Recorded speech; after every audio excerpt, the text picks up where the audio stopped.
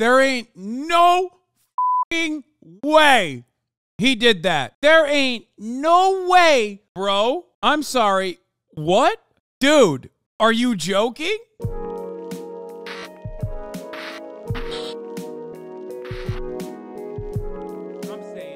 And corrupt cops are everywhere. But what happens when they actually get caught? I can't believe what you're telling me. Here are five shocking examples of when evil cops realize they're going to prison.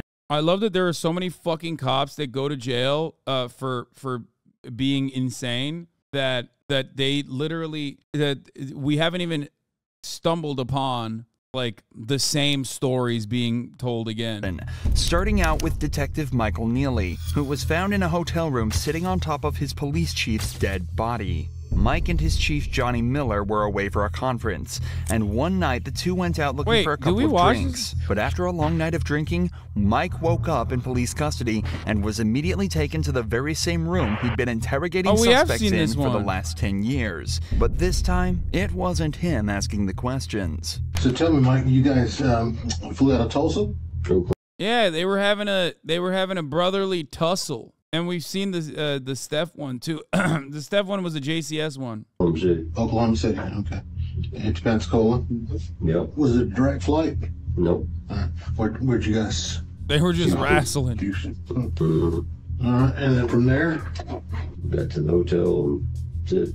Mike is keeping all his answers short, which is a good idea in this situation. But it's up for debate whether it's because he knows it's the best move or just because he's still extremely hungover. any problems uh, or anything going on at crowd? Just normal dinner or what? It's normal Any drinks there or just dining with? A couple beers and Was it a early dinner, late dinner, or what? it's pretty early. It was uh I don't think it was dark yet.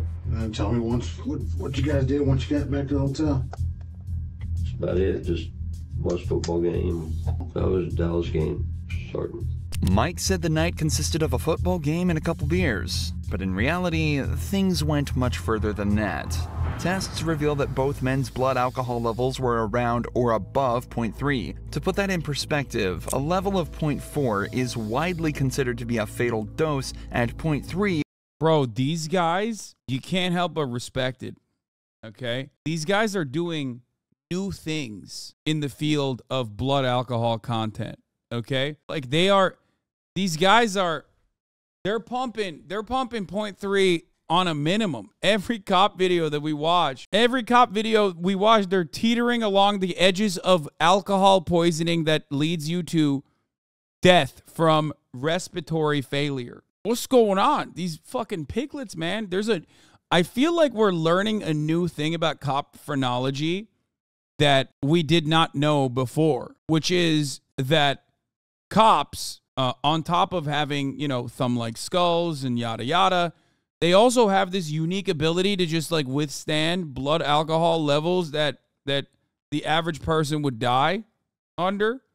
It will likely result in alcohol poisoning, a condition that can lead to death and loss of consciousness. Either way, both men will have been completely out of control of their own emotions and actions, likely leading to the horrifying events that occurred that night. Do you remember um, hotel staff or hotel employee coming up and telling you guys to keep it down? I don't I don't remember that. So what is the last thing you remember as far as that evening until the football game? I, I mean, I, I know you're asking me questions, but can I ask you a question? Absolutely. Okay, homicide. Who who who who is dead? Dead. Dead. Yes, sir. Uh, I guess I, I probably don't have any anything else to say then. I, I've got nothing nothing to say to you. Mike was in Oh my god, no wonder why they're so afraid of fentanyl. Dude, awfully suspicious that they're afraid of fentanyl because like they have so much blood alcohol. Like they have so much alcohol.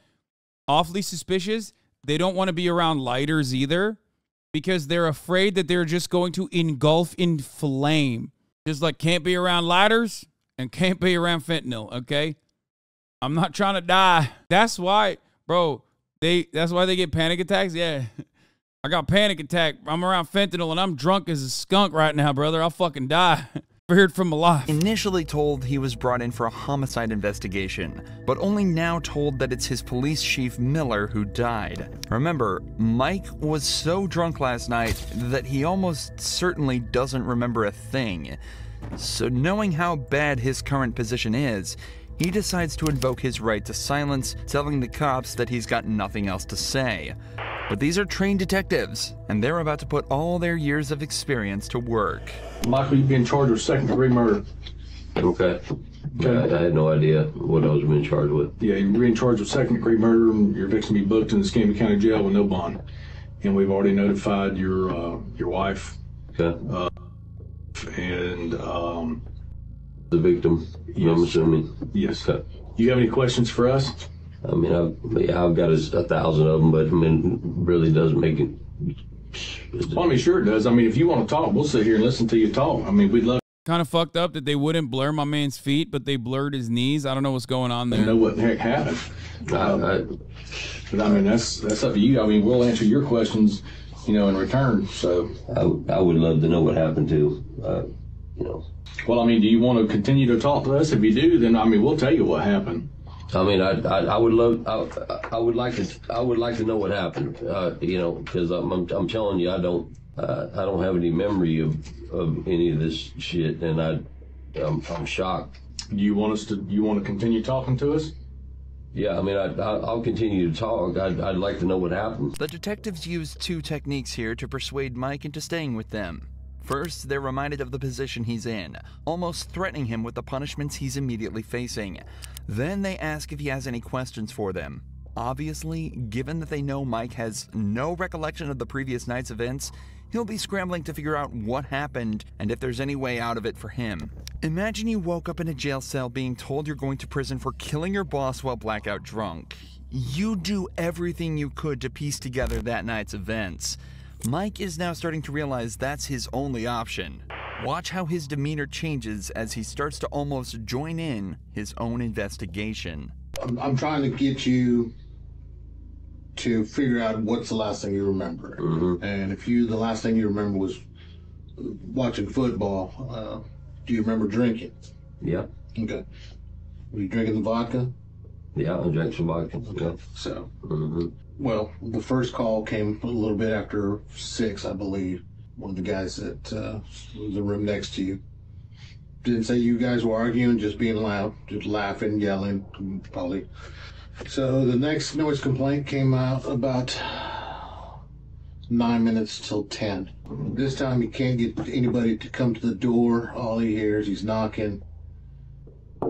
He hears just grumbling, grunting. Uses his car to get in. Is on the ground between the bed and the wall. You are sitting on his chest. His face is beaten. The statement that was given by this? the second noise complaint could hear a male saying, Mike, stop, Mike, stop. And then it just went quiet. Mike reiterates that he's got absolutely no memory of this and had no animosity towards Miller at any point. However, he also doesn't show remorse at any point. He just sits there confused and quite obviously only concerned for himself, repeating that he just can't believe what happened. The officers detail a little more about Miller's body and try desperately to get Mike to remember anything at all about the events. But he just I mean, listen, brother, he's a cop. You know, when he blacks out, it's just automatic, right? And when you black out, you automatically do a murder. Well, chalk it up to being a cop. See what I'm saying? His body has to, his body has to react in the way that it knows best, which is murder button. just sits there in complete disbelief. Hmm. Hmm. Hmm. I mean, you you can't think of anything that that would have triggered you to to jump on. Nothing. I mean, it's nothing. It's uh, like, it's unbelievable. Anything else? You got any questions for us, Mike, before we get you across the street? No, I guess I'm getting booked into jail, and uh, Yep, we're gonna uh, get you booked in the jail and put in uh, special housing over there so that you're not back there with the heads and stuff. right. You're not back there with the criminals, the real criminals, you know what I mean? Not you. And uh, protective custody. You're not uh I don't know, man. He's a cop who killed another cop. He might he might not be in that much trouble in there. You know what I mean? I feel like they would respect you that. don't want to harm yourself or anything, are you? No. Michael Neely was indeed booked into jail and subsequently sentenced to life in prison on account of second degree murder. But Michael took all this news surprisingly well. He just sat there and accepted his life was basically over, in complete contrast to the corrupt tactics of this police captain. Captain James French was caught drinking and driving and followed home by an Yes! officer. Dude, better than drinking and murdering. You know what I mean? Like drinking, drunk driving. Once again, yet another police chief, dude. Yet another day, another high-ranking police guy drinking and driving, baby. Whoo! He looks like he's got jaundice. Sir, what followed was one of the most brazen examples of police corruption. I saw the clip, chatter. I don't look like this You, uh, kid. Like? I I don't feel any rejection towards him. I I used to be. How do I look like him? Like, are you okay? You think I look like this kid? It's insane. You keep spamming it. I looked at it on the other screen and I was like, I'm not gonna embarrass you, but like, I don't think I look like that kid. Option ever caught on camera. Stay in your vehicle. Back in your car. I see it. Oh Drunk? my Huh? Drunk. I know. I'm the captain. That's funny. Are you drunk? No, I'm the captain. A what? Captain. Of what? The big. Don't reach in your pocket. Get back in your car. Have a seat. I, I will. I'm not. You've been drinking tonight? I just got a ride. You've been drinking tonight, sir? I'm a captain on the police department. What police department? Oklahoma City. What division? Investigations. How much we had to drink tonight? Yeah, he said, turn the camera off. Yo, he is zooted. Yeah. Uh, fun fact: cameras can't pick up that frequency of whisper. This must be a different. This must be a different camera, or my man is so drunk he thought that would work.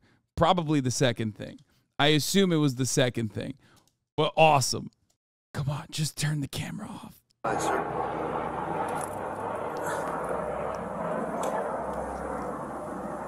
Please. Huh?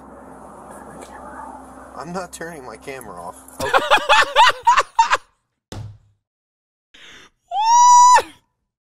He laughed in his fucking face.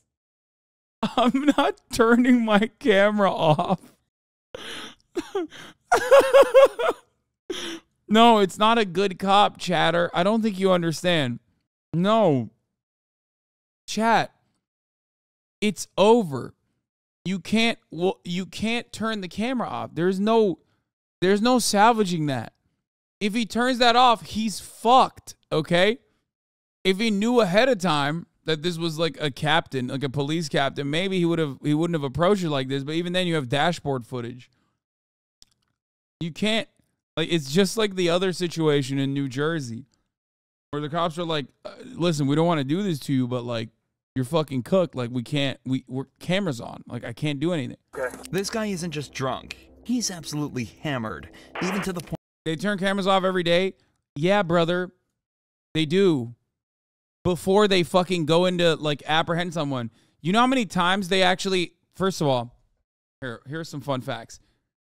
Usually, I mean this changes by jurisdiction to jurisdiction, but I'm pretty sure you get as soon as you turn your camera off, the camera doesn't actually stop recording.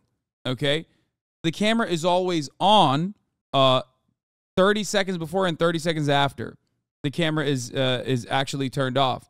So cops have literally gotten caught turning their camera off to plant evidence and then only to go back and like oh be like oh I found evidence. This happened in Baltimore before where it's like automatically it's automatically uh, uh it's automatically uh, uh recording with a delay.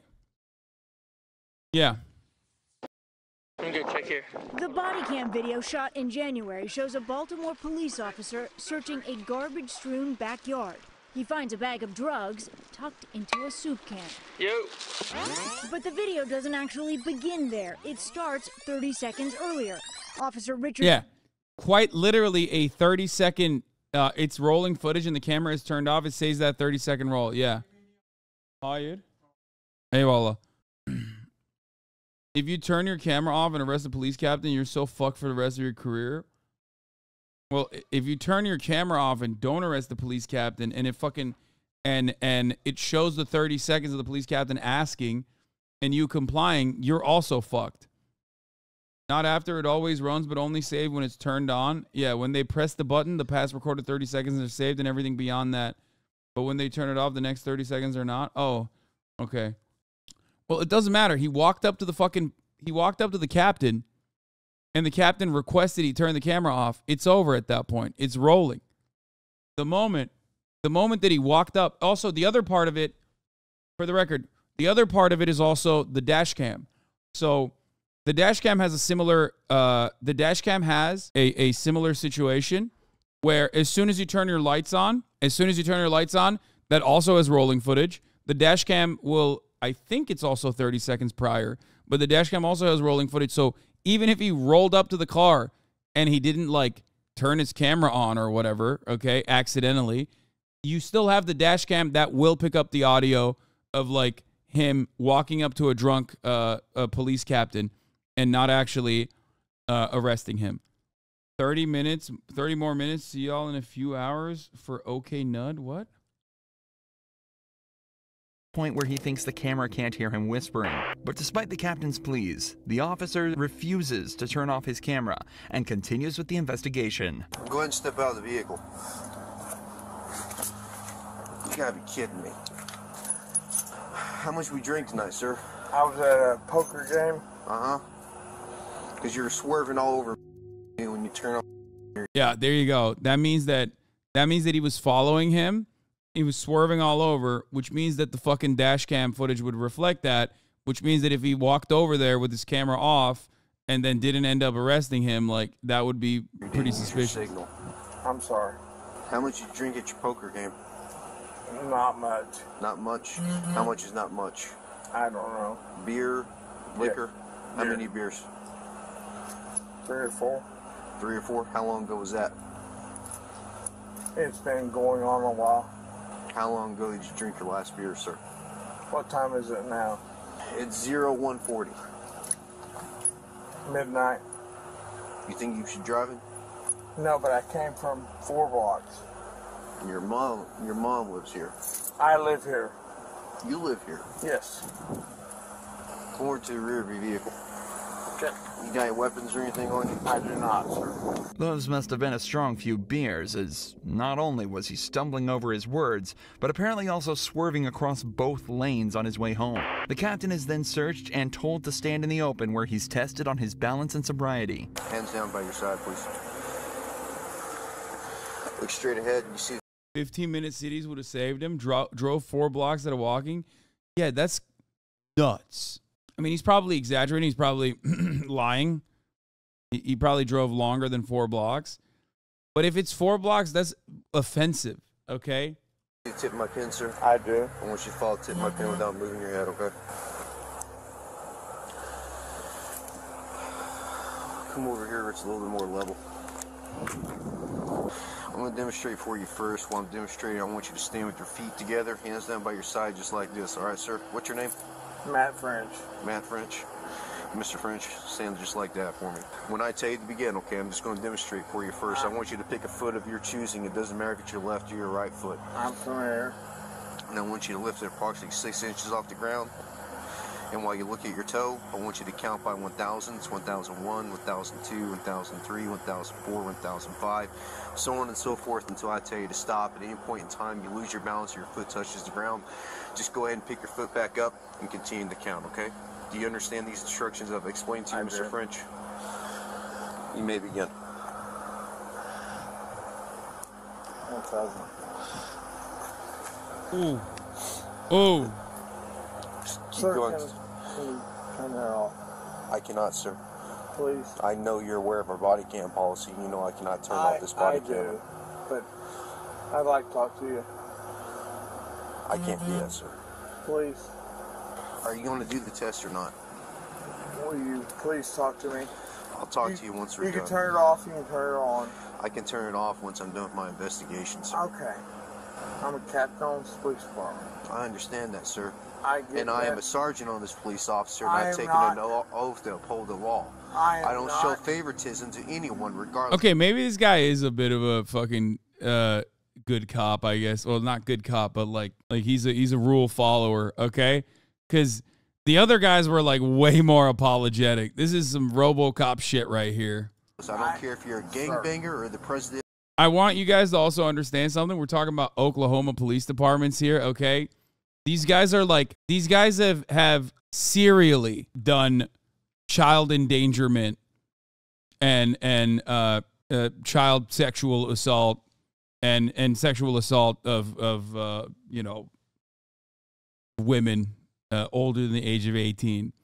So like a couple years prior was it Oklahoma City Police Department that where they basically had to fucking fire like like 20 cops or some shit. Let me see if I can find it. Oklahoma County DA dismisses criminal charges of seven police officers who shot and killed three people. Okay, that one is that's not what I'm talking about. What was it? It was like it was around the Daniel Holtzclaw situation where Daniel Holtzclaw went to uh, went to prison for being convicted of multiple counts of rape, sexual battery, forcible oral sodomy, and other sexual charges while working for the Oklahoma City Police Department. But after he went to prison, they fired like they fired like eight other fucking cops. This is actually a really weird case. If you guys remember, Holtzclaw was in Oklahoma. Yeah, I know. I, I know. It was a very weird case because it was like it was a very weird case because uh, Daniel Holtzclaw's situation was like not as open and shut. And then there were a lot of other fucking cops. There were a lot of other cops that actually, uh, uh, what do you call it? That had actually also been fired later down. Uh, a couple, like a couple years later. Like it almost seemed like it was a fall guy or something. Yeah, there was a bunch of victims, and some of the victims described very different people than Daniel, and yet they fucking they clapped him. They clapped him for all of the victims, and he was like a like a bit of a he was a bit of an interesting case because he was like uh, uh what do you call it? He was a he was a really interesting case specifically because uh, conservative columnist Michelle Malkin has written about the case and has repeatedly argued she believes Holtzclaw is innocent, arguing that the forensic evidence backs his claims in the story he provided, not the accuser's versions, and that the investigators chose not to perform several tests she categorized as routine or characterized as routine. Malkin debuted her first and second episodes. Jason Flom, a founding board member of the Innocence Project, dedicated an episode of a wrongful conviction podcast that is interviews with Holtzclaw, his sister, and a biologist who claims to have detected errors in the prosecution of the case. Like he could have been he could have been the fall guy for like basically a rape ring inside of the Oklahoma City Police Department. Like that's what it that's what it felt like a little bit. Especially because they especially because they fucking fired like eh, they fired so many cops. Uh they fired so many cops after this case. Where the fuck why can't I find it? Not charged, but fired. Brandon Paisley, Senior Director, Specialized Targeting. A fired Oklahoma City Police Department officer is back behind bars facing new complaints of rape and sexual abuse. There was the Luis Maldonado case. Court dismisses rape and strangulation charges against former Oklahoma City police uh, officer. Fuck, where is it? It's a really weird. Oh, here, this, this, this. This is what I was looking for. Hundreds of officers lose licenses over sex misconduct. I think this is the one, right? Flashing lights pierced the black night, uh, black of the night, and big white letters made it clear it was the police. The woman pulled over was a daycare worker in her fifties. She would later tell a judge she was splayed outside of a patrol car for pat down, made her lift her shirt to prove she wasn't hiding anything, then pulled down her pants, and the officer still wasn't convinced. Shone his flashlight between her legs. In a year long investigation of sexual misconduct by U.S. law enforcement, the Associated Press uncovered about a thousand officers who lost their badges in a six year period for rape, sodomy, and other sexual assault. Sex crimes that included possessions of child pornography or sexual misconduct, such as propositioning citizens or having consensual but prohibited on duty intercourse. The number is unquestionably an undercount because it represents only those officers whose licenses to work in law enforcement were revoked, and not all states take such action. California and New York, with several other nations' law enforcement agencies, offered no records because they have no statewide system to decertify officers for misconduct. One of the 13 women uh, who say they were victimized by officer, former college football standout named Daniel Holtzclaw the fire. The fire cop 28 has pleaded not guilty to host of charges, but there were a hundred other Oklahoma cops, 100 other Oklahoma Police Department, Oklahoma City Police Department cops that were literally what the fuck they mentioned as high school football for because he was like um he was like a like a how do I describe it? He's like in great shape. Like they they presented this as like a story that was unique. Uh, they they presented this as a story that because he was like unique for uh law enforcement at the time. That he was like an all American boy. That's the way the hometown hero, right? And the thing is, um, the thing is like it felt like uh, it felt like he probably participated in in a string of like sexual assault, just like every other fucking cop did. But then they hammered him with every charge they could, specifically to like nip it in the bud. You know what I mean? Like they, it it, it almost felt like it was like a young guy on the force. So they were like, "Look, look, this is the one guy that did it, the one bad cop." Does that make sense? But it's on it's nutty. in the United States. Sir, I'm not asking you for that. If I was to treat you differently than I was to treat like some Southside loco or some pedo, how's that look on me? Okay, I'm not asking you for that. Because I wouldn't do that for any of them. Even as the captain begs him to turn his camera off and just talk, the officer stands his ground and states that he has to treat everyone the same or his job and livelihood could be at risk. He's showing a fantastic amount of integrity that unfortunately we don't get to see too often, likely due to people like this trying to pull rank. They then continue with the third and final test, involving simply walking heel to toe for 10 steps. All right, anytime you're ready, you may begin. One, two, three, four, five, six, seven, eight. One, two, three, four, five, six, seven, eight, nine. All right, go ahead and turn around for me. Put your hands behind your back. Are you gonna arrest me, sir? Yes, I am. Can I talk to you? Go ahead and put your hands behind your back, sir.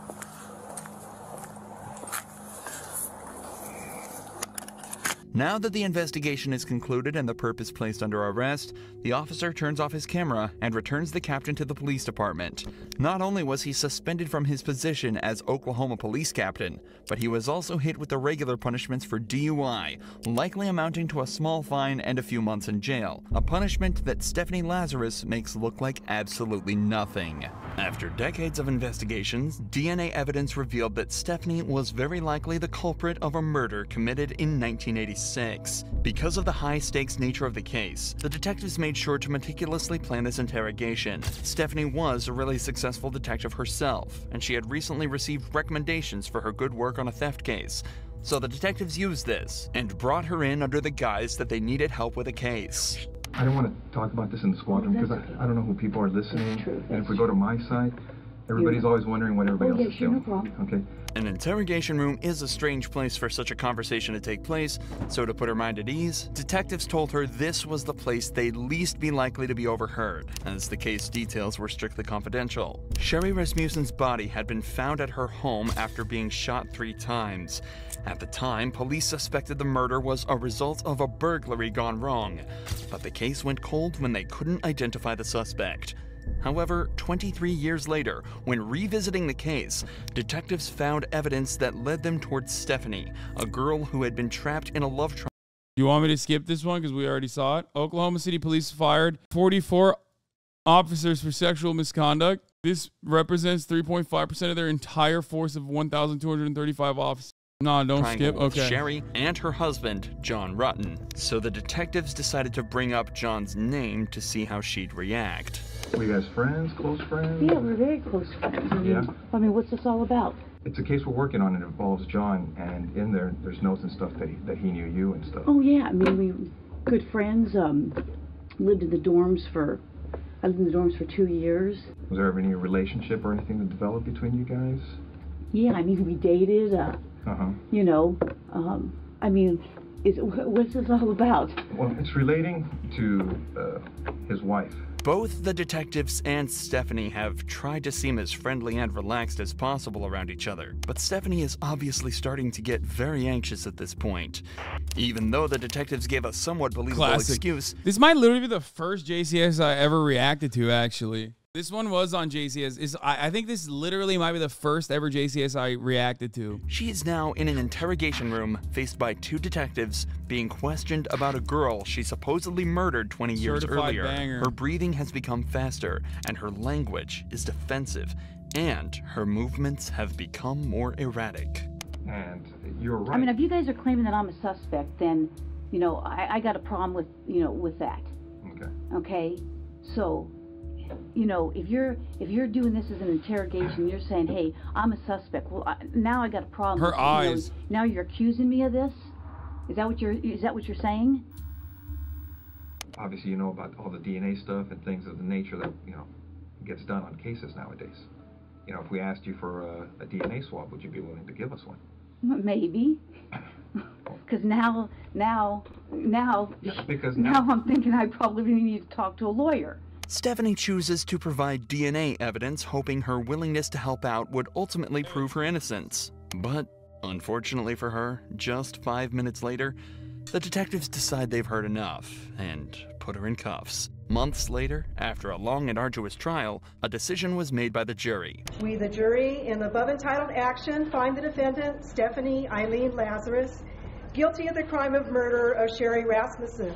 We further find the murder was of the first degree. Stephanie was sentenced to 27 years in prison after being hit with a single felony charge of first degree murder. But to this next cop, Jalen Fleer, a single felony charge looks like child's play. Oh! I remember this one too. This was a recent one. All right, we'll skip this one. We watched this like recently. This guy was like trying to fuck uh, minors. Son of him hide, blah blah. Yeah, look. children under the age of 14, pandering children under 16, and engaging in the child under the age of 16. A few months later, he was sentenced to 12 years in prison, a fraction of the amount That's a that's a pedo cop. Pedo cop. Like RoboCop, but Grant Hardin received after a murder investigation led to the shocking discovery of a crime committed over a decade earlier. Grant has been apprehended on suspicion of murder, but the secret Good. he was hiding would end up making him so desperate he would try everything he possibly could to escape. On the 23rd of February, James Appleton had pulled into a parking lot on Gann Ridge Road to take a phone call with his brother-in-law. Suddenly, a loud banging sound was heard over the phone, and the line went dead. A passerby had spotted a white Chevrolet Malibu parked behind James's car that immediately sped away after the loud noise. When the passerby went to check on James, he was lying dead at the wheel. he said rogue build. Lock picking plus one. My man, he's like, you have to try the door. Okay? You got to do it to him. You know what I mean? Hey, listen, listen, listen. It's a freebie. If it's open, it's a freebie. They have to let you go. Cop rules. Gunshot wound to the head. Gateway, Arkansas is a small town of 400 people, so the owner of the Chevy was quickly determined to be Grant Hardin, a 50 year old police officer who had lived in this town his whole life. Later that night, Grant's vehicle was stopped at a police roadblock after taking his family out for dinner, and he was quickly brought in for questioning. But unfortunately for everyone involved, Grant's experience in law enforcement would prove to make this interrogation one of the most excruciating and difficult that Arkansas police had ever had to deal with. I'm Detective Chamberlain. I know we have met. James Chamberlain. Okay. Uh, I, I- did you used to be a police officer somewhere? Or, I, I recognized you, but I wasn't 100% sure where I knew you from. But somebody said that you used to be a police officer in Gateway or something like that. Okay. The interrogation begins casually as Detective Chamberlain opens with questions about Grant's career. As they're both police officers, he assumes he can strike an immediate middle ground with him, building trust between them and hopefully getting him to relax so he'd give up information easier. A strategy that he'd soon find out had the opposite effect. Grant has then read his rights, but decides this is where he's going to start making it difficult for the detectives. Here's the thing. I want to talk to you about what, what you've done today, okay? Can you just take me through when you woke up this morning to when you got stopped by the police out there in, uh, what's the name of that road that you're on? I'm sorry, I'm going to drop. Gant Ridge? I'm not gonna say anything after I've been read those rights yet. Okay. I don't know what's going on. I am kind of sickly to, uh, to what I'm here for and things. Up until this point, Grant hasn't been told what he's been brought in for, and Yup. states that he's feeling sickly given the circumstances he's been put into. Given his disturbing body language, he may also be feeling exposed and somewhat inferior due to being the One of the few instances where a cop at least knows what other cops are like. Because we've watched plenty of examples of fucking cops getting arrested, and they literally always forget. They always forget that, like, the other side are just cops and they're trying to fuck you over, and they just start leaking shit. Because they have this, like, false sense of security coming from the thin blue line, you know? Meanwhile, this guy immediately was like, ah, nope, done this before. Not falling for that one. I know what this is called. What is it called? A Minerva rider or whatever? You read me my Minervas? Let me tell you, you, you read that Minerva to me, boy, I ain't telling you shit. Boy, marinara rides, don't tell me nothing.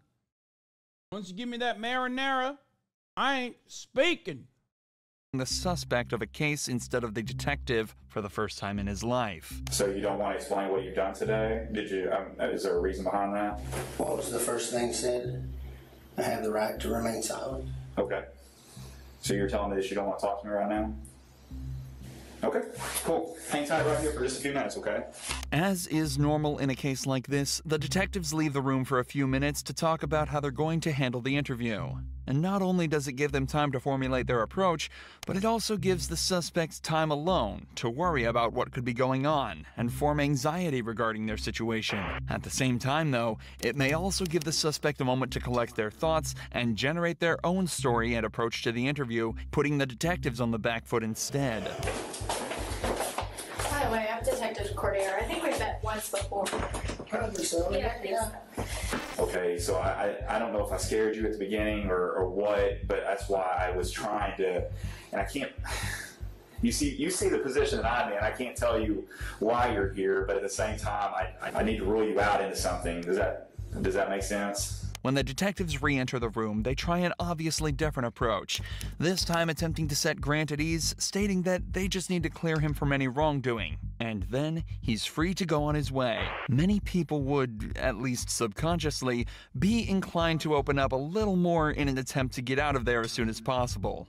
But Grant has other ideas. Would you be willing to talk to me about your day, knowing that I need to rule you out of something, or like I, I, I'm just if you didn't do anything wrong today, you have nothing to worry about. Yes, I I would have liked to, but before Yeah. the rights were read. So Okay. not knowing what's going on. Yeah, and you understand as a detective, we have we read those rights to everybody who comes in here. It's not just you. It's funny because it's like they low key can still, I'm pretty sure, get around that. At least now they can. M HUD says, um, I had to check in. Yes, there is a lawyer with this name. There's a Miranda Wright. That's awesome. Happens to everybody that walks through this room and talks to us. As a former police officer, Grant is fully aware of all of this.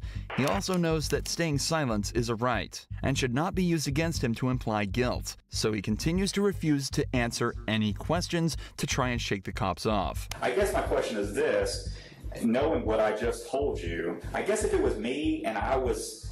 You know, if I was in your position, I'd be like, "Hey, James, I did this. I was at, or Grant, I did this. I was at, you know, here, here, here, and here," and I would just be done with it. But at this point, like, I can't clear you from this because you could still be, potentially be a suspect. I don't know if I'm not explaining it right or, or what what's going on here. it fine. I just have to, once the, once the rights have been read, I have to, uh, it says I have the right to be silent. Yes. Okay. Just tell me this. I know you were a police officer before, right? You're you're a police officer in in Gateway. It's an easy yes or no. Damn. I'm being silent. Well, I can see that. Cold blooded. I mean, murderer, cop, don't matter. Cold blooded, baby. Look at how, look at the powerful thumb energy emanating from this, by the way. I mean, he's just in that corner. He's planted. We can do this all night. I mean, it doesn't bother me. You're going to continue to be a suspect until I find out otherwise. Okay. Unfortunately for the detectives, Grant is exercising perfect form within this interrogation. Refusing to talk greatly hinders the investigation as a whole and completely prevents the detectives from making progress, all while being completely legal. This is why Detective Chamberlain is starting to appear visibly annoyed and decides to take a break from the interrogation, as letting emotions take control in an investigation like this can be extremely dangerous for the detectives. But once again, this time alone can also give the suspects the chance to come up with a plan. What a plan that is, dude. Ah, the perfect escape. They'll never suspect this. Master plan. Nope.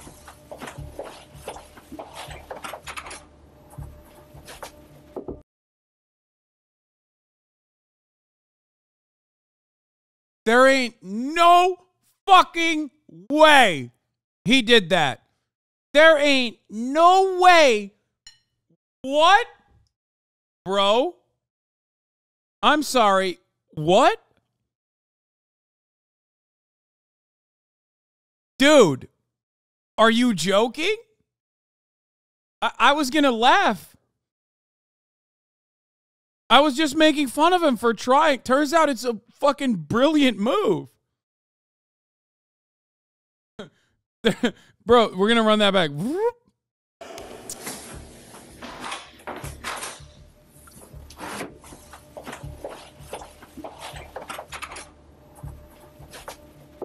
Hello, I need to go.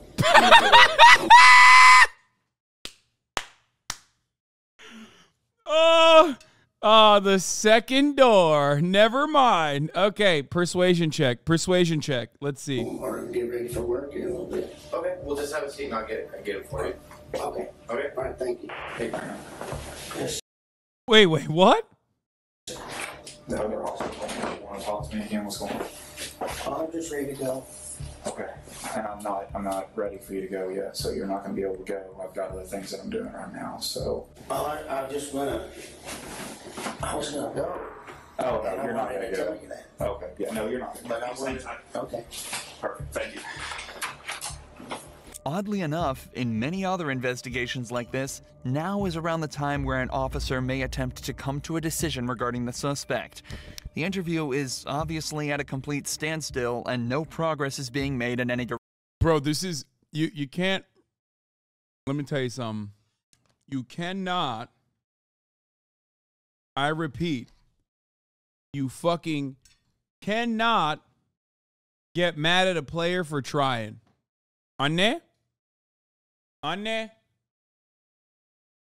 Anne! Oh, you never hear me. You always have headphones in. That's why I'm yelling. E, arabayı içeri alır mısın garaja? Lütfen. Why? It's too hot? Okay. She said, Why are you yelling? I'm like, Well, you have your headphones in. How you can't hear me? Direction, the standard protocol would be to either gather the information needed to charge the suspect for a crime or release them based on a lack of evidence. But whether the detective thinks he can extract more information or if it was an ego based decision, Grant is told to stay and continue the interrogation. The police then try to take some time to piece together more of the story, talking to witnesses to try and place Grant at the scene of the crime. Despite his silence being perfectly legal and acceptable, It greatly increases the detective's suspicion towards him. Suspicion that's only heightened when Grant's wife says that his only alibi was that she thought he was spreading grass seeds at the time of James's death. All signs point towards Grant, and Detective Chamberlain goes back in for round three. Uh, Detective Cordero is talking to your wife right now. I talked to her a little bit. So I've kind of got a timeline of where you were and where you weren't today. Um, we all know what happened, okay? I'm not trying to get you in any trouble. I'm not trying to get her in any trouble. You've got a little daughter, 16, who needs her parents, okay? I don't know if you've had a problem with this guy for a while or and this was an accident or you maliciously him down or, or what happened but if i don't get your side of the story i won't ever know we're writing a book you got chapter one you got chapter two and chapter three chapter one is what happened today what started out today how your day started chapter two is what led up to the incident and chapter three is you telling me about what happened to lead you up to that. I know you went to eat, uh, you know, out tonight. I know what you said at dinner. I know that you went to Lowe's afterwards. I know, I know everything, but I don't know what caused the incident. And if I don't know that, I've got to assume the worst. I'll let you think about it. I'm, I, I'll give you one more chance here in a few minutes, and I'm not, I'm not going to talk to you anymore. I'm, I'm telling you that. Well, what happened? I know, you know, we have witnesses that put you there. They physically ID'd you. The two cars that drove by. Look, man, I'm not. I, I just want to know why it happened. I, I'm going to sleep good tonight. Dude, he is so bad. God.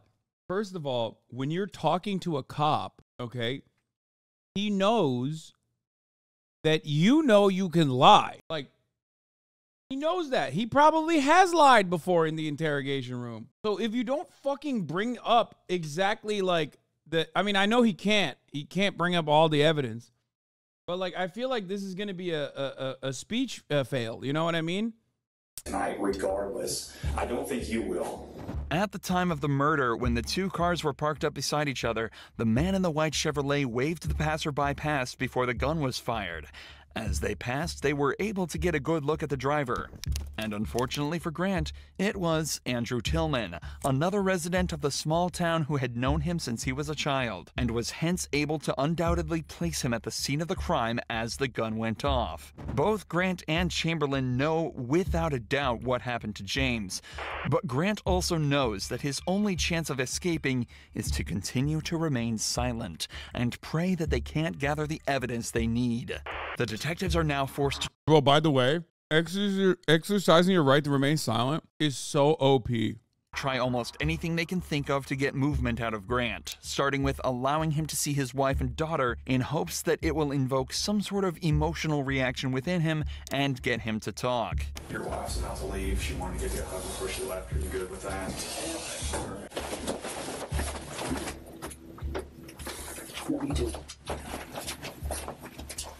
Me too. Okay. All right, I'll be back in a few minutes. Thank you. Unfortunately, even this doesn't work. So instead, Detective Cordiero decides to return alone with a more calm and sympathetic demeanor in a second attempt to build trust with Grant. Often, male suspects are more likely to build a subconscious connection with female detectives due to them often thinking that they're less threatening and more understanding. Realistically, this is the last option the detectives have. All right. Get ready to think about laying down up on that desk right Yeah, uh, it's a classic good cop, bad cop, dude. Also, another OP strat. this is the cops' only OP strat that they have. It's the chud technique, kind of like the top of the hour ad break technique, which comes at the top of every hour. It's deployed, whether you like it or not. However, there are things you can do to avoid the top of the hour ad break. That is, of course, subscribing. Here's the streaming ad break now. Yeah, I don't know if you'll be any more comfortable up there than what you are now. Can you help me understand how we got to this point? Miss Sue's YB, thank you for the five gifted. Mm-hmm. Man, I remember being on patrol and running into you one night. Help me out on a call, back me up. Oh, It was way back in, uh, I guess almost three years now. well, Two, two, Yeah, something probably like so. that. Yeah, something like that. you guys are always good to help us, help help me too. Yeah, absolutely. Brad, you was always right there, man. Cordiero opens up with an anecdote about how Grant apparently backed her up on a case three years ago. Even though he doesn't necessarily remember it, this will give him the idea that Cordiero will be even more sympathetic and helpful towards him as he's done her a favor in the past. It also allows them to continue reminiscing about their time on the force and the people they've worked with, further strengthening the subconscious bond Grant will be creating. I just don't understand how we got to this point. Yeah, me neither. You're willing to talk? Oh, Tell I'm me. just ready to go to bed. I don't blame you. Me too. Me too. And we could do that. You just talk to me. Well, I just have to. Since you read those rides, I have to stay. I have to do the ride. Well, what what's the difference? You know the difference. Regardless of something happened or not, and if it did, if it was an accident, well, tell me. Like, let me help help me help you. Like, I want to know what I can do or what happened today to be able to explain it later. I don't know what happened today. I just need to. You know, people are gonna have questions. Mm-hmm. Your family. Well, I have questions. Well, exactly. So, So why can't we figure this out together? Cordiero is making a conscious effort to use inclusive language, such as, we will figure this out together. This and her open and expressive body language are both techniques she's using to make Grant feel more relaxed, and as though he's part of the solution, not the problem. She's also making every effort to be nice to Grant, in hopes that maybe he'll finally open up to her, or at least give her a way in. We insert from the very beginning. I mean, I know you probably slept in because you work nights. I work nights.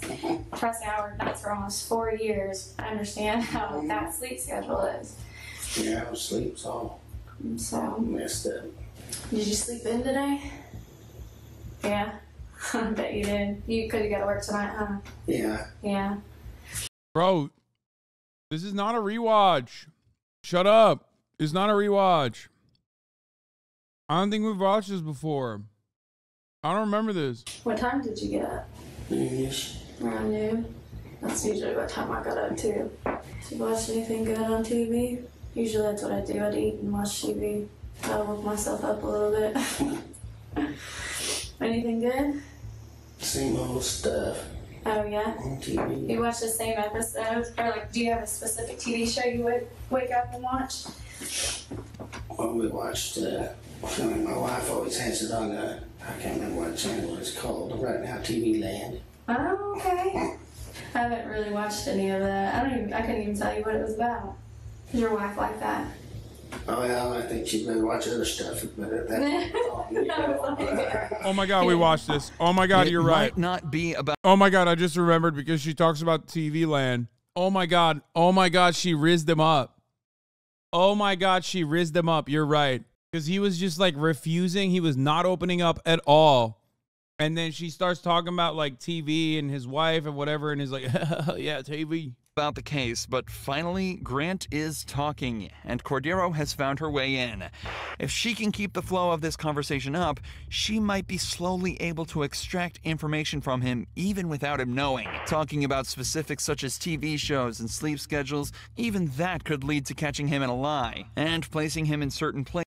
Nothing more cringe than immediately not remembering something uh, and people going, "Welcome to long COVID memory."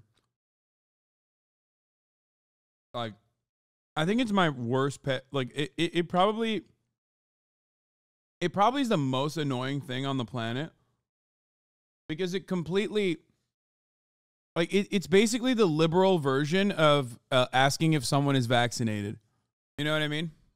Like it's the it's the it's the liberal is the rad lib version of being like, oh, it must be long COVID, or it must be because I react to tens of thousands of hours of footage, like, and sometimes it gets a little blurry.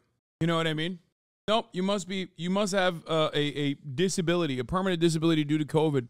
Now, I don't remember you watching this, and I literally was watching when you did. So, like, you react so much. So many motherfuckers are. Yeah. No, I know. We already established that I watched this.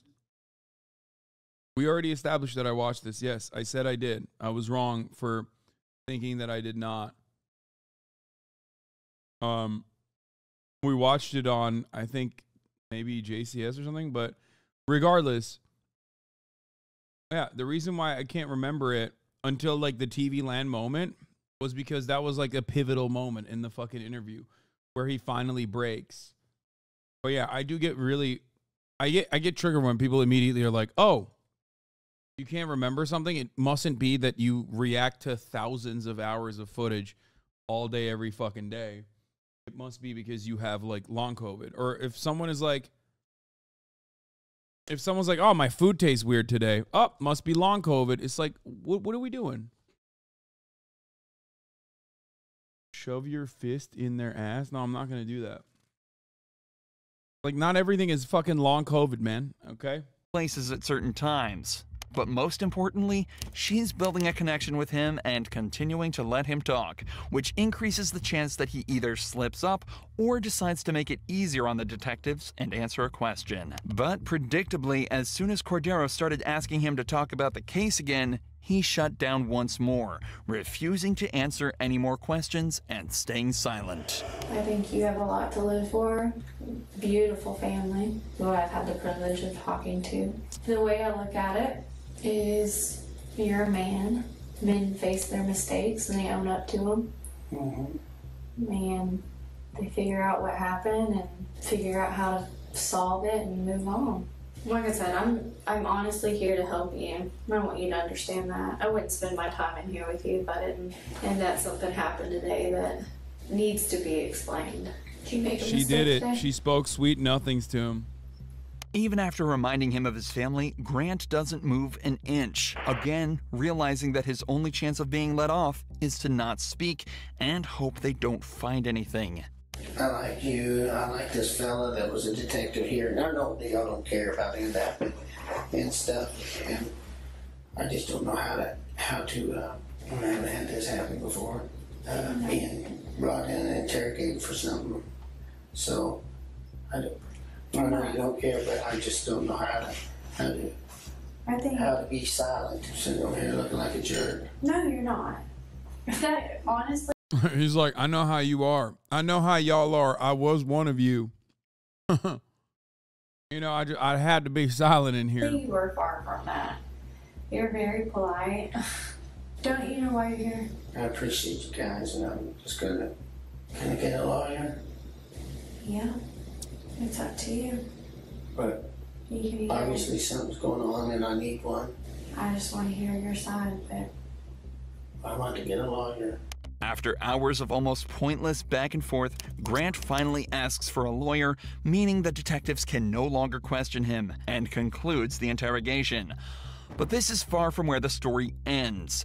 Between this interrogation and the final court hearing, Grant and his lawyer both realized that there was simply no way he was going to be released scot free. Not only was there a man at the scene of the crime who all but saw him pull the trigger, people were also starting to realize that he'd actually either been fired or resigned from three different police force jobs before becoming the chief of police in his hometown. So, on October 16th, 2017, Come on, man. It takes this guy murdering somebody in fucking broad daylight for people to be like, wait a minute, let's check his LinkedIn real quick. Oh, shit. I fucking told you, man. It has nothing to do with what he did on the job. He was destined to be a police chief. You want to know why? You want to know why he was destined to be a fucking police chief, dude? Because of how much of a thumb he looks like. That's it. Thumbelina ass motherfucker, bro. That's it. Apparently he's free now. Wait, what? What is this? There's also information about video games? He pleaded guilty to the first degree murder, but refused to reveal his motive, leaving each member of James Appleton's family without closure to this day. However, as Grant was being prosecuted, a shocking revelation was made that turned him, a murderer, into a senseless monster of a human being. As his DNA was being taken, they realized it was already in the system, under an unknown name, for a crime committed almost 20 years ago. In November of 1997, a teacher at Frank Tillery Elementary School went to the teacher's lounge bathroom only to be met by a man brandishing a gun that forced her into a stall. The man then raped her and fled, taking care not to touch anything or leave evidence behind, except for the he left on her clothes. Local police did everything they could to identify the perp, but after 20 months of effort, the investigation went cold until 20 years later when Grant Hardin's DNA was found to be a perfect match. This is and because Rogers police had obtained a John Doe warrant back in 2003, allowing them to arrest an unknown suspect and bypass the statute of limitations, he was hit with the 14 year sentence for his on top of the 21 years for the murder of James Appleton. And Chad said this guy's free right now. There ain't no fucking way he's free. How's he free? And as such, Grant Hardin was sentenced to 35 years in prison, meaning that he'll likely live out the rest of his life behind. And and he's six foot. Fucking bullshit, dude. Doing disrespect. He's not. Inmate search. Wait, what? This is a website you could do? Information current is 09. Okay, 91. Oops. What the fuck am I doing? What what are what are we clicking on here? What am I? No, it's fine. Nothing leaked. It's just the prison. Okay. You can send him money. You can what what are you you, you Vine? Yeah, he ain't getting out, boys.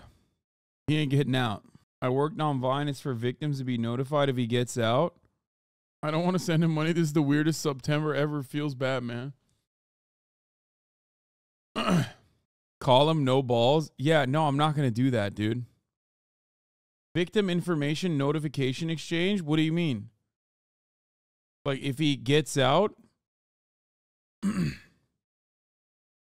if he runs out of prison, call and ask about TV land. Oh, you can be registered to be notified, like as you're like as though I'm a victim. Yes, it tells you if he's transferred or released, or if he escapes. Is this the woman detective who was in the video? Benton County detective suspended after using emergency lights to get son on school bus. I don't know, but that is pretty funny. Detective Na Nakana Cordiero was identified as the female driver.